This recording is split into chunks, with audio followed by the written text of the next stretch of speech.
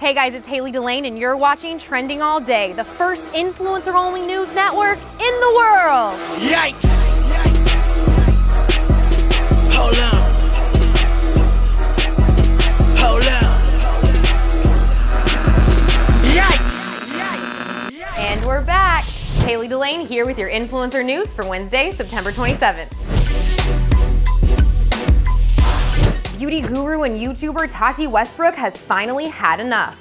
Fans noticed that certain brands were using Tati's photos and videos to promote their own ads. The owner of a makeup sponge company had the nerve to be rude to her, referring to her as that bitch. Although Tati has no plans to aggressively fight all the brands, she left her fans with this message. Buyer beware. Make sure that you are careful with who you are purchasing from. And I just wanted to make sure that you knew that I am not behind these products and I'm not suddenly like switching my opinion to make money. I'm not making money anywhere that you see these images.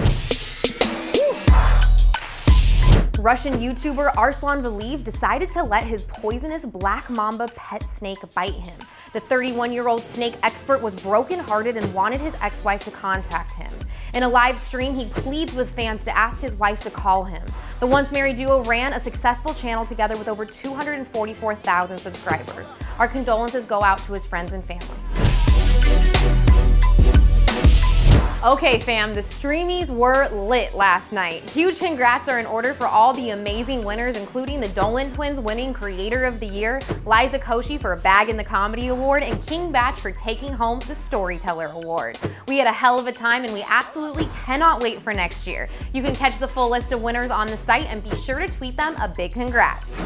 All right, fam, that's it from me here today at the Trending All Day House, but be sure to send us any tips or stories that you want to see on Influencers Only. And don't forget to follow us on all of our socials at Trend All Day to stay up to date on all things influencers while we're gone.